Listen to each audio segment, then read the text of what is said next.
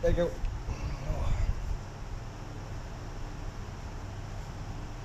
can see why these are so popular in America.